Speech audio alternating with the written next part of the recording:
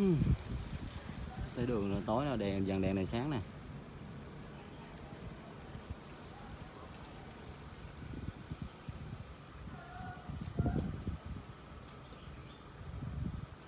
Chào mừng các bạn quay lại với mình nha. Đây cái chùa gì mình không ngon quên tên tiêu ta. À, chút nữa ra mình coi cái tên gì rồi mình nói cho bạn sau nha. Đây khuôn viên cảnh nhìn nó cũng đẹp thoáng mát ngày rảnh thì đi, tính đi qua bên ờ, hóc môn có một chuyện mà đi ngang thấy cái chùa này, thấy cái chùa này thường, dân tết kia là chùa lá đó.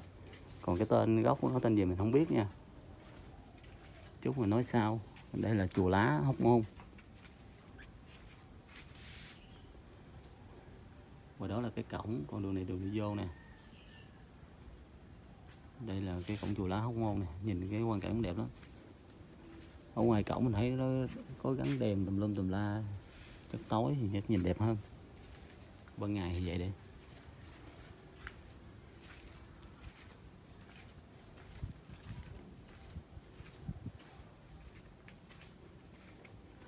Đây tượng Phật hai dây nè. Mẹ quan thấy âm không?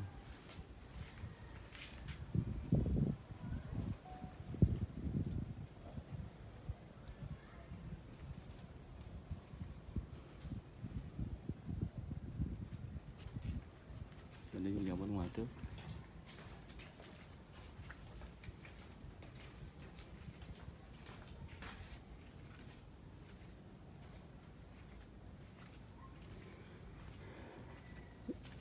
Chùa này nằm bên hóc môn mà nằm ở ờ, cái khu, nằm ở cái khúc mà bên đây là đồng ruộng không à. Nắng cũng mát mẻ lắm. Mình đi vòng ngoài trước cho các bạn à, coi trước ha.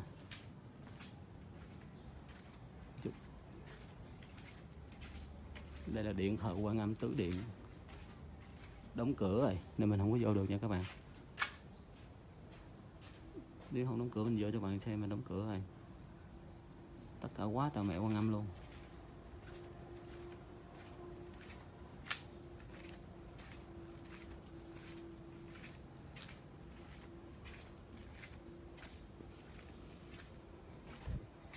Điện sao cho hết nè, đây đồng ruộng nè không biết có ruộng nữa, mình coi thử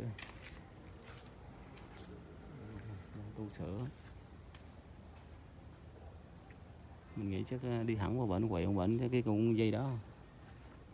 Đi thẳng qua đó, quẹo qua, cô cũng giống lợn đây nên mình tạm thời vô đây trước đi.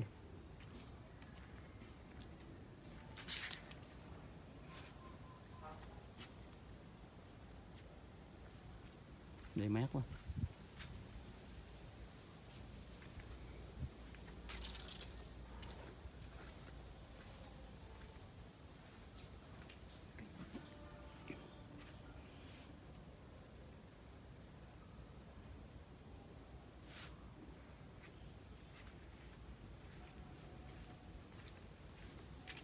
Có mang cá không biết cái gì.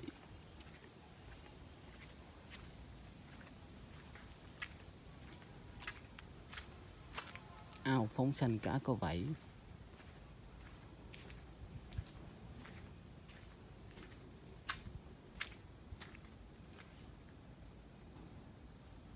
ừ, cá quá trời luôn không biết cái gì luôn.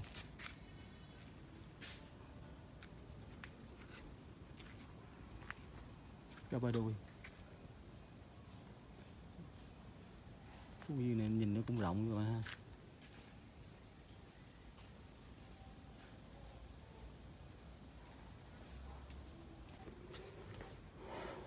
Chính điện là trước mặt đó các bạn. Dần rất đẹp ghê không?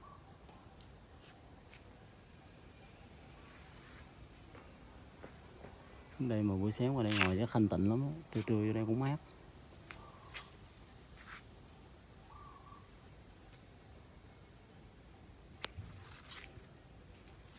Quá chừng không biết cái gì.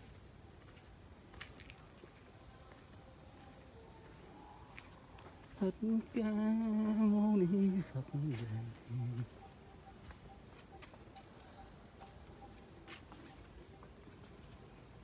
đây chánh điện rồi.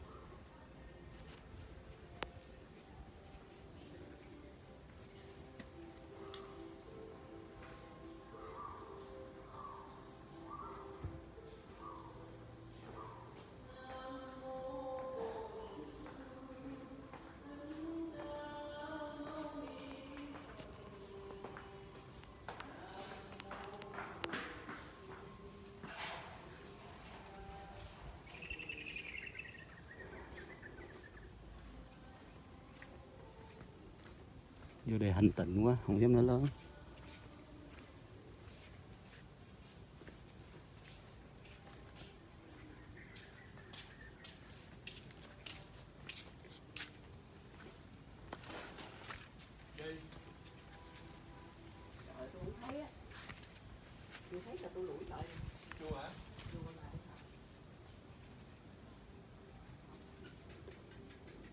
coi cái cốc kiển nữa.